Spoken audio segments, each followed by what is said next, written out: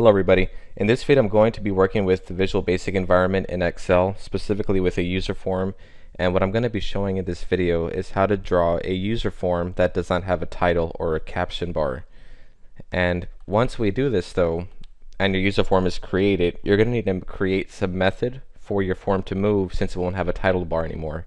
So this is going to be a two-part video. Part one I'll be showing how to create a user form that won't have a title bar. In part two I'll show how to move the user form just by either holding on to maybe a label that you create or if they click anywhere in the user form and they hold the mouse down then the form will move. So let's go ahead and get started. I have my Visual Basic environment already set up. If yours is not opened up just go to your developers tab and select Visual Basic and go on and draw your user form or insert it. I'm going to go on and do my insert user form. So here I'll have my user form. I'm going to double click it and what I'm going to do is I'm going to toggle to my notepad window. That way you can see my full screen of the code that I'll be using. I've already put some code together and the code that I'm using is going to be pretty much all API. And if you're new to Windows API programming, then I mean, I would highly recommend looking at my channel. I do have a video playlist created for an introduction to Windows API, and that's what we'll be using in this video. These are the procedures or functions that I'll be using the API functions. Now, if you noticed, like you you may already have this code set up, maybe in a base file or a module, and yours may not say P2 PTR safe. PTR safe is necessary on a 64-bit system. If your system is not 64-bit, just take off the PTR safe, and it will just be like private declare function window, and then of course the rest of the API statement. But in this case, mine is a 64-bit version of Windows, so I'll have to have the PTR safe attribute added in there. This is what I'm going to go on and paste into my user form to the at the very top. So right now I'm in the user form and remember I double click my user form to get to the user form click. I'm just going to scroll all the way to the top.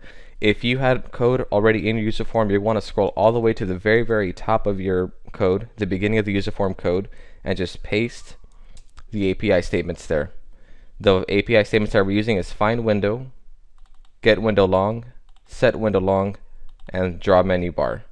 And we're using one constant, the get window long style, negative 16. This is a code that's just set by MSDN. Now what we're going to do is, and user form initialize, we're going to add this code.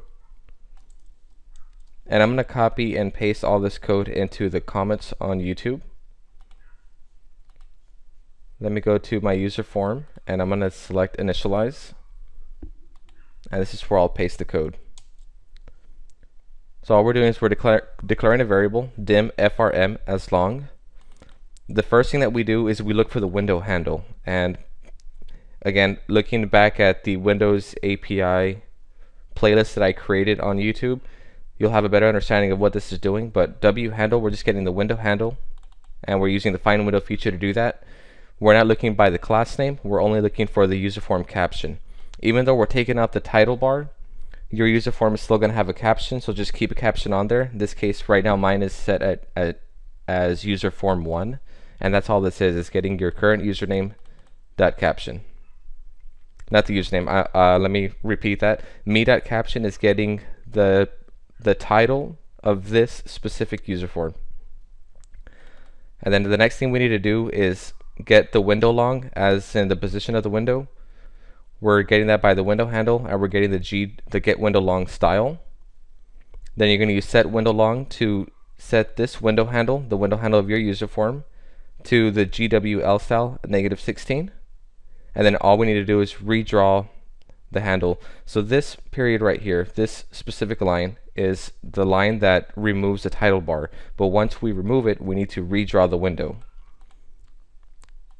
So if I hit F5, you'll see that now our user form does not have any kind of title bar. And the only way to close it out, you have to hit Alt F4 when you're on the actual ap application.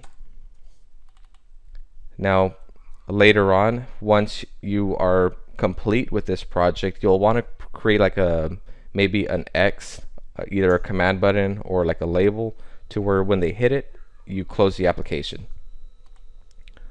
but let's just say that I was not to put the set window long I just want to give this demonstration and you just put draw menu bar W handle all this does again is redraw the window but there's not going to be nothing to redraw because we're not making any changes to the window so if I hit F5 we still have our, our title bar so again the set window long line is is the one that's setting the window style to have to not have a title bar that completes this video and in the next video I'm going to show you how you can move this user form around and there are two methods to doing it. You, we can do an API method or just looking at the mouse position.